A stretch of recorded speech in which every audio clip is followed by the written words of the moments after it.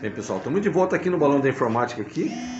E nós vamos começar a montagem aqui do computador, né? Esse computador aqui, ó. Olha, ó. Esse danadão aqui com a 3060, tá? Então o Brian vai explicar pra gente agora aqui como é que é o, o controle de RGB do que já vem no gabinete. Brian, você pode me explicar aqui, ó? Essa parte aqui, pessoal, ó. Ele vai explicar pra vocês aqui, tá vendo? Aqui é uma entrada, né? E aqui é a entrada do botão do LED. Botão certo? do LED, tá vendo? Aqui vai entrar a força que é pelo cabo SATA. Cabo SATA, aqui, ó lá. O Certo. cabo SATA tá aqui. E tá? aqui vem as fãs. Olha lá, aqui cada aqui cada um. Então esse, esse, esse controlador tem pra, é, pra quantas fãs, ô Brian? Seria aqui, ó. Aqui tem a primeira fã. Primeiro certo? ali, tá vendo? Uma. Que aqui tá aqui do lado.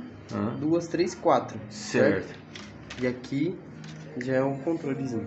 Beleza? Entendi. Tá vendo, gente? É, já vem no gabinete. Então, pra quem não conhece o controlador de RGB, tá aí, ó. Beleza? Então é isso aí, gente, ó. Então, vamos finalizar aqui e depois a gente volta já com o Brian já montando a placa, a placa mãe já no computador, ok? Um abraço, pessoal.